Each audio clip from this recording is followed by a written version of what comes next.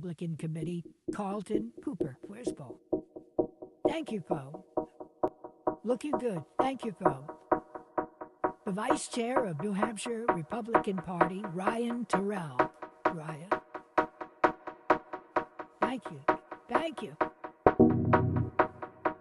A man that's been with me right from the beginning, the early days, and boy, does he love the veterans, and we take care of our veterans. Lou Gargiulo. Where's Lou? Thank you, Lou. What a great job. Did I do the best job for the vets, please, Lou? You know, it's always dangerous, because if you said no, the whole evening is screwed, okay? But he won't say. I have